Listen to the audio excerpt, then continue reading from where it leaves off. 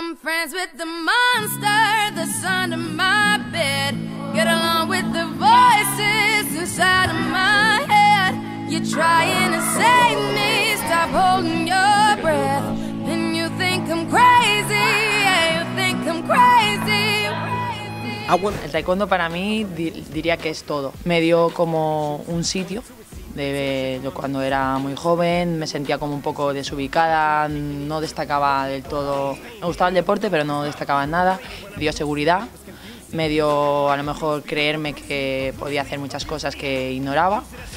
Y a, raíz de ahí pues fui cogiéndolo cada vez significaba más, no podía estar sin él, llegué a hacer muchas cosas para que como mis padres no me quitaran lo que era para mí mío padre mi madre era, bueno, no tiene otro deporte que apuntarse al taekwondo y eso que es. Y la verdad que de mi familia la única que me apoyaba era mi abuela, el seleccionador de la comunidad valenciana. Se presentó en mi casa para hablar con mis padres para becarme en Cheste. Sí, solo llevaba un año practicando taekwondo. Escuché que llamaron a la puerta y yo me hice un poco la tonta, ¿no? Sí.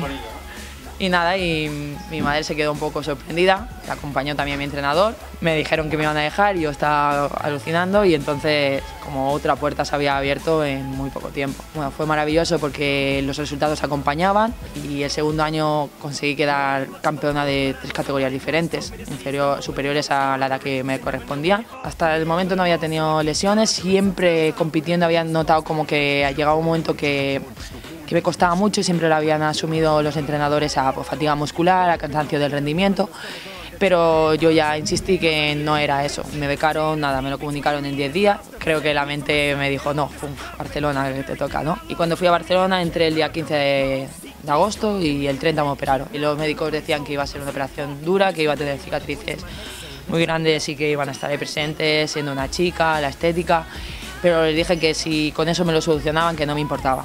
La primera vez que operaron de los dos gemelos a la vez fue de síndrome compartimental, de todos los compartimentos. Después de casi cuatro años pude correr de hacer test de mil, aeróbico, yo me emocionaba solamente con haciendo esas pruebas, ¿vale? Volví a tener molestias. Uno de los médicos pensaba que era ya más psicológico.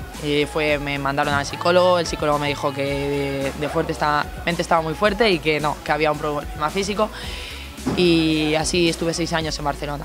Lo bueno que diría que mejor he sacado de este tipo de lesión, que todavía seguimos en ella, es que a nivel táctico he tenido que desenvolupar mucho, que los entrenadores dicen que gracias a, a la carencia que tengo a nivel físico, mi cabeza se ha desenvolupado mucho más que en otros competidores. Ahora el autonómico, que fue en noviembre, sentí el gemelo cómo se cargaba, pero ya en el último asalto, cuando antes no llegaba casi al segundo. No, no busco el tengo que ganar y ya está, porque creo que, que es obsesivo y no me va a llevar a nada. Uno de mis entrenadores me dijo que dando clases no podrían centrarme en la competición. Pero bueno, ahí debato porque igual que estoy entrenando, me olvido de todo cuando estoy con los críos, pues disfruto. Y aparte intento transmitirle todo lo que, lo que yo sé y evitar lo, que hagan los errores que yo he podido hacer. Creo que pues, a la gente que le enseño, pues están a gusto conmigo y yo lo estoy. Las operaciones y me voy a, al europeo y saco oro, ya era como, por fin, ¿no? Ha valido la pena, sabía que el trabajo valdría la pena en algún momento, ¿no? Salió el FER y entonces hablamos, hablaron de ayudas económicas, que en el momento yo estaba en casa era lo que más necesitaba para poder seguir el ritmo de entrenamiento que había llevado hasta el momento. Casi intentando solucionar el problema médico era lo, lo único que necesitaba. Y solamente me tenía que dedicar a entrenar y a, hacer, y a seguir haciendo mi vida y a eso le sumas que tenía y el poder estar cerca de la familia, pues se complementaba todo lo que yo creo que es necesario ahora mismo. Y conocí un poco la historia de Ricardo el día de la presentación del proyecto FER y la verdad es que me emocioné muchísimo. También la, la superación que tuvo David Casinos. Son cosas que me emocionan mucho, que el trabajo que estamos haciendo cada uno, cada uno tenemos una historia detrás y que mucha gente que si la conociera a lo mejor valoraría todo lo que sí tiene.